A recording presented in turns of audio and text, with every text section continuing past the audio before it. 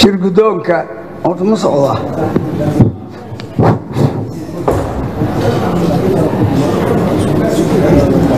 shir guddoonku waa mahadsan yihiin xildhibaanada sharafta leh.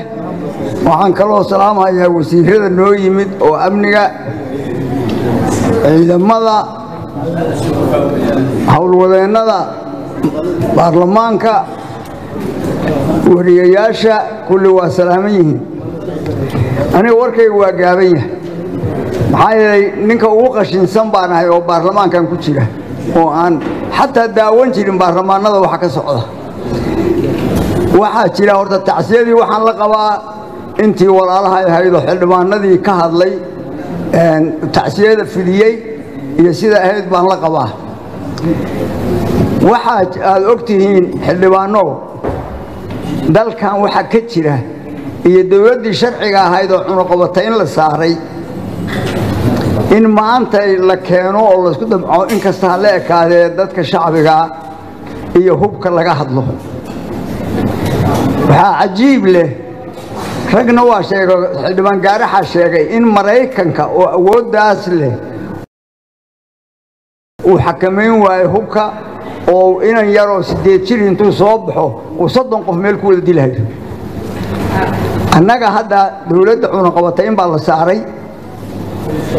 Waxaad ogsoon tihiin waxaa intaa loo dagaalamahayey inay dowladdu hesho hub ka awood badan kan shacbigu haysto. Welina meel laislama dhigin. Hadda dadka soomaaliyeed barisamaadkii markii hubka laga dhammeeyey dadku intay iscaayaan bay kala tegi jireen isma dili jirin waxa maanta dalka yaalla dowladdu hubka hayse ka badan baa yaalla. Marka anugu waxaan soo jeedinayaa in dadka hubka ay haystaan dib looga iibiyo marka awood loo helo oo lagu celiyo gacanta dowladda dadka mas'uuliyiinta ka ah inay hubka haystaan. Maanta inaan ka hadalno in hub la fasaxo ama si la yeelo ama shacbiga laga hadlo waa ogahay inay dhib badan tahay maanta iyo inaan gacanta lagu wada dhigi karin laakiin marka sharci loo dejiyo maalinteeday imaanaysaa wasiirada amniga oo martida noo ah raalli ha ahaadeen anugu waxaan soo jeedinayaa in lagala noqdo markaan aysan ahayn wakhtigii la keeni lahaa in wax la kala ama qafiifiyo ama looga hadlo hub dad gacantiisa ku jira annagoo og meesha ay maanta marayso iyo waxa lays yeelay